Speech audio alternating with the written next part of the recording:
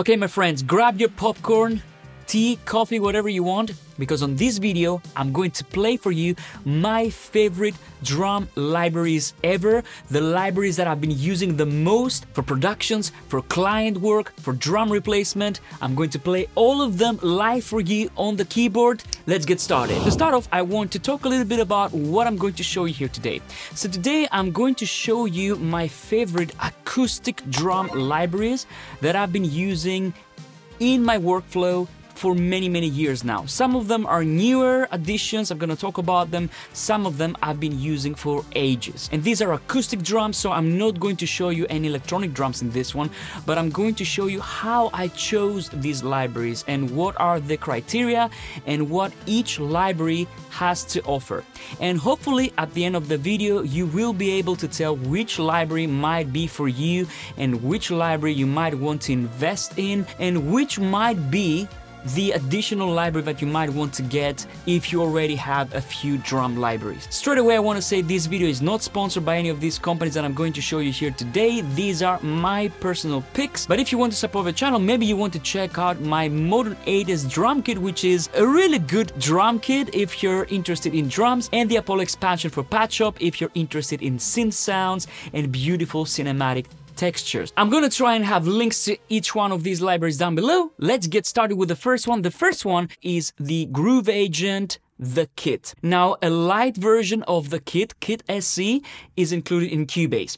So if you're using Cubase, make sure you have this library installed because even the light version is amazing.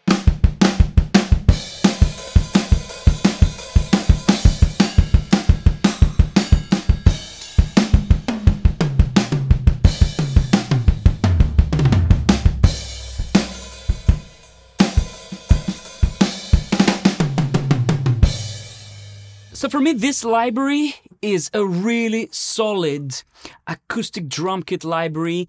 This can go from really, really raw to quite a bit of a processed sound. So I like the fact that we have all this bleed. So if you notice, if I play the toms, you know, they're big, they're beefy, and you can hear a little bit of the bleed from the snare.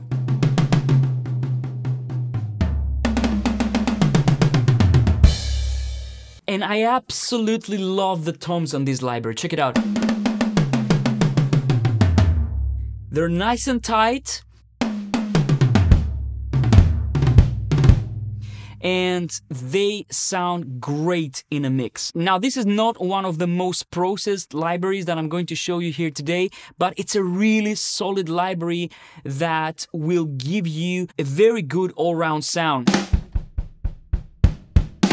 Of course, we have different ways. For example, you can have a muffled snare, you can have, you know, a normal snare, towel snare.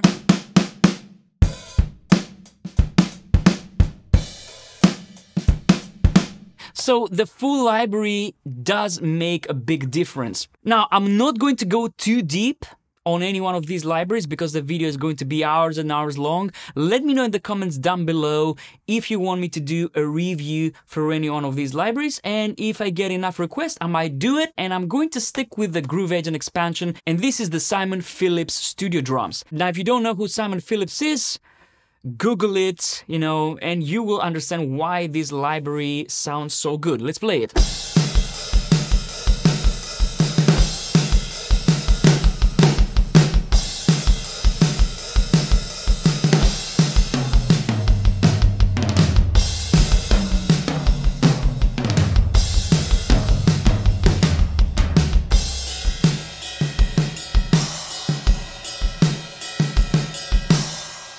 It's a massive drum sound. And this has a lot of different like elements, like octobans and all these things. I'm going to load another preset.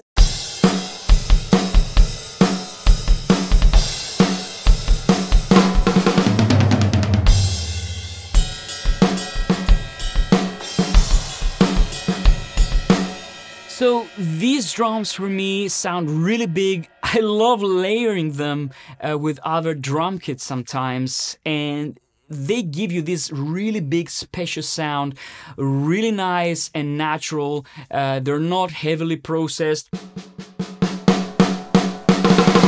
Now the next library is a library that I started using back in the summer and I love this library. These are the Hertz drums, and this is a library that differs to what I played up to this point because they are mix ready. So if you want a really modern, punchy, in your face sound, these drums will give you this with minimal effort. It's very easy to build your own drum kits, and let me play them.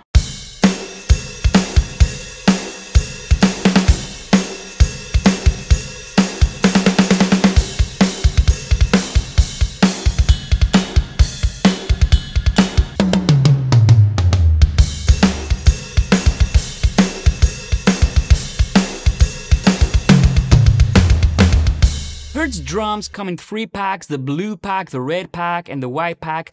Let me play a preset from the blue pack.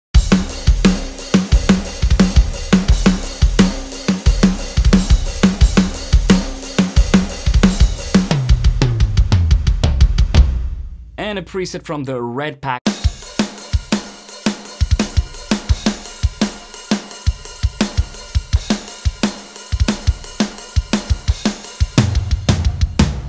So these drums will give you a sound straight away, straight away. They are so punchy, so powerful. They have a very contemporary sound.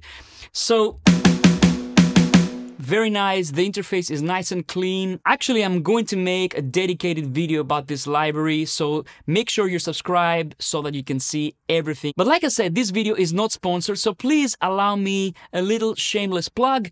This is my own modern 80s drum kit and these are not acoustic drums. These are drums that I would use for electronic music for synthwave for pop music pretty much everything that's up in the charts right now but also I would use them for sound replacement. So if you have like a weak snare you can enhance it with the modern 80s drum kit. I have a video about the modern 80s drum kit. You can check it right here but let me play them very quickly and then we're going to move on to the other libraries And the beautiful thing with the Modern 80s drum kit is the sauces. So I can activate the kick sauce, add some thump, some definition, and then the snare sauce, punch, tightness, really tight or really long, clap width, make your claps nice and wide, and I want to add a little bit of reverb for this snare. And why not add this characteristic 80s gate? Some... Yeah, some toms, reverb. You know, so these are really good if you want to beef up a snare, just for this snare. I can actually reverse the snare as well. You know, do all these crazy things so, I'm not gonna dwell too much on the Modern 80s drum kit. Check out the video and if you like it and grab a copy, you're really supporting the channel, so thank you so much in advance. Let's move on to the next library, and this is, who doesn't know, Superior Drummer. Now, Superior Drummer is uh, the pinnacle of drum instruments, right? So I'm going to play a sound very quickly.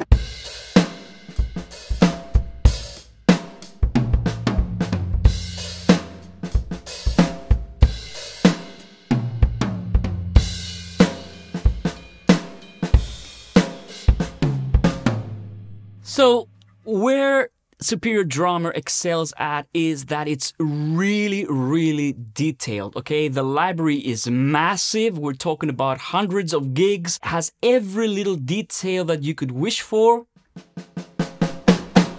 you know, you can mix, it has grooves. I'm not going to go into the grooves or any one of these libraries because I never use them personally, but they might be a really useful thing. I know for many people. There are two things that you should be aware about Superior Drummer. The presets are really good and the engine itself is really powerful. It has some really interesting ways to layer snares and all these things. What I would say though is that this is an instrument that I would go for if you're really, really serious about getting the most detailed acoustic drum kit sound ever. because if you're looking for a ready to go sound, it might be too much. You know what I mean? So it's very, very detailed. And the other thing that for me it's a little bit of an issue is that when I play and for some reason I activate Aftertouch on my MIDI keyboard, you get these cymbal chokes. Okay, so which is a great feature, but it's triggered way too easily. So when I play, see? So what I have to do in Cubase to combat this is I have to activate the input transformer and filter the aftertouch messages when I'm playing live.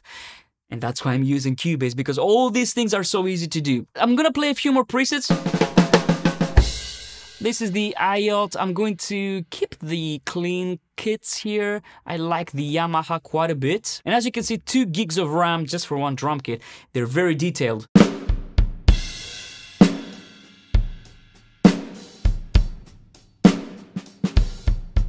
But if you're looking for realism, you can't beat Superior Drummer. It's very, very powerful. Let's play the Pearl as well.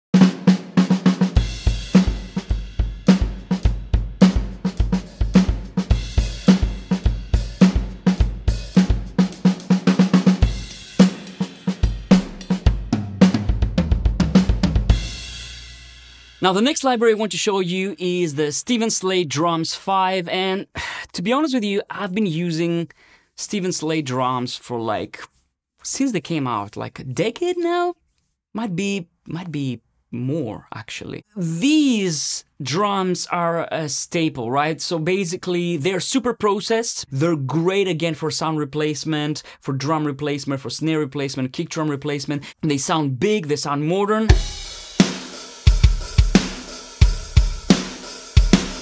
I mean, the sound is so characteristic that I immediately recognize these drums when I hear them in a production. So uh, for me, that's the only downside for Steven Slate drums. They've been around for such a long time.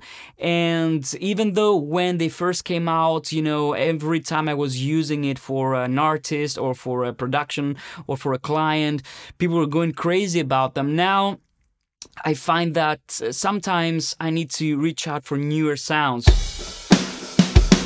But still, still, still, they're so good.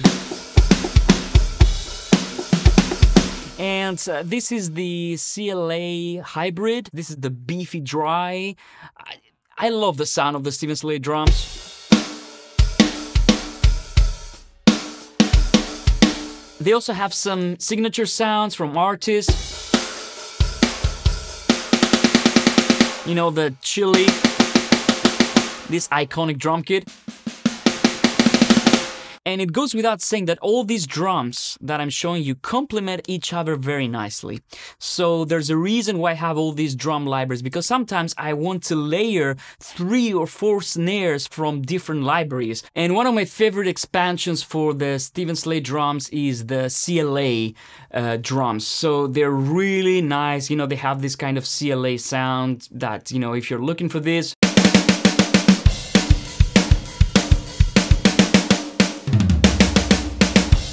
I use them mainly for replacement. What a sound. The next libraries I want to show you come from Addictive Drums too. Addictive Drums are really great. They have so many different libraries and they sound so distinct. But I want to show you some libraries from them that I think sound really unique.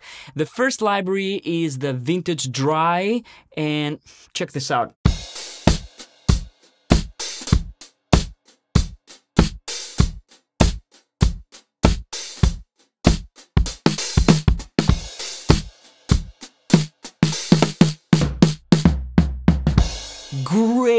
Dry sound. I love it for funk. I love it for soul. Beautiful. Let me just show you a few more.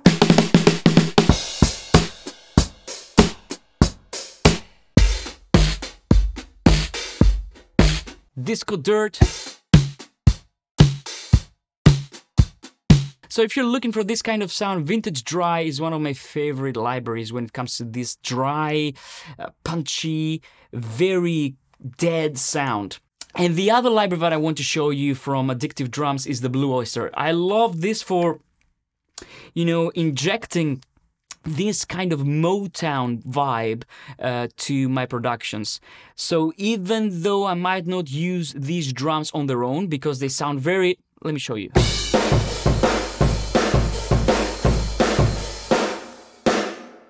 You know, with the tambourine, this is so Motown, so, so good. Let's try this one.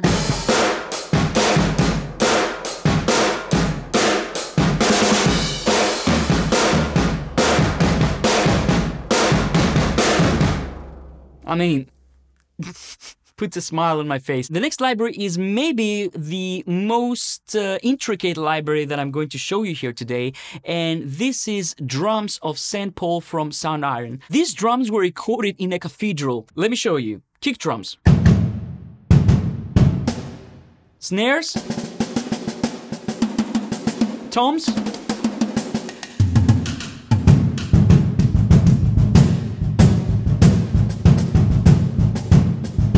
And you can play with all these mic positions.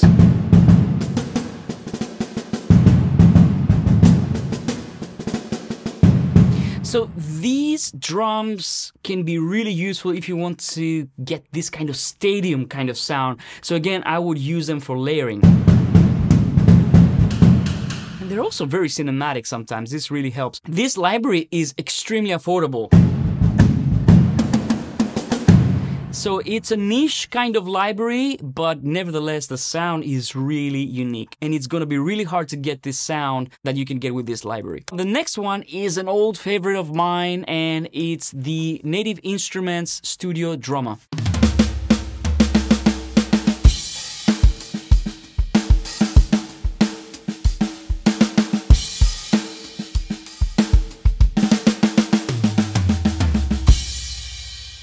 I mean, this library sounds so good. I think it's so versatile. You can use it on pretty much anything. For my taste, I always like to make the snare a little bit tighter because it has a long tail. But this you can fix very easily in the mix. That's my only gripe, but the toms are nice.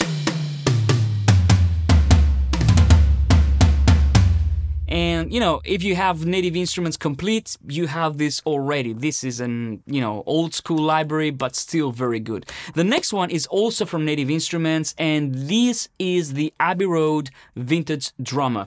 And this is a library that I would use for jazz, for when I want like this kind of old school brush drum sound.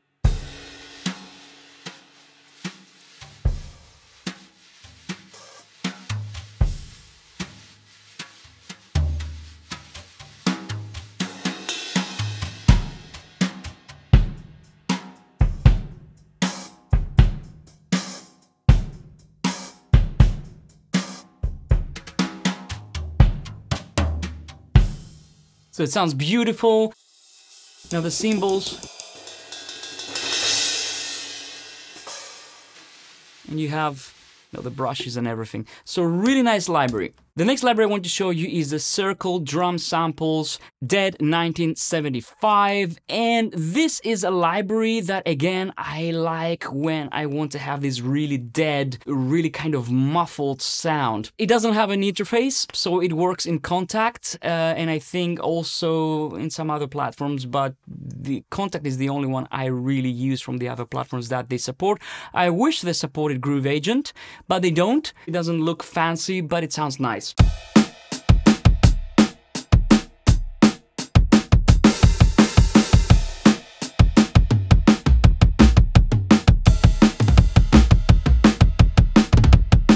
Another thing I wish they supported would be GM mapping because the kit is all over the place especially when you use GM. I don't know why many developers choose to go for a proprietary mapping. GM works so well. Why change it? Many of these libraries that I showed you here today don't use GM and you have to load a preset in order to load the GM mapping. Now, here you don't have this, but I can still work around it because it's not too far from GM.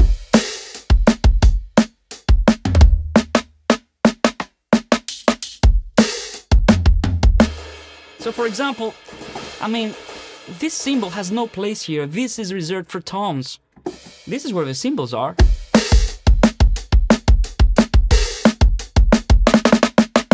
Sounds so good. Let's try another one.